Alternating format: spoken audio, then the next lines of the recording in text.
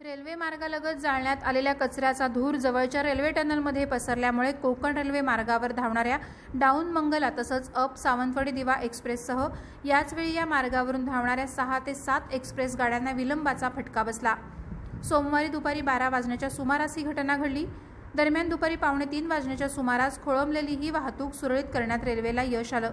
Konkan railway मार्गावर निवसर स्थानकानजीक असलेल्या टनेलजवळ जाळण्यात आलेल्या कचऱ्याचा धूर येथे जवळच असलेल्या रेल्वेच्या टनेलमध्ये पसरला. याच दरम्यान घटनास्थळावरून मंगला एक्सप्रेस जात होती. धुराची झळ बसल्याने मंगला एक्सप्रेससह त्याचवेळी त्या भागातून अप दिशेने जाणारी दिवा सावंतवाडी एक्सप्रेस देखील अडकून पडली.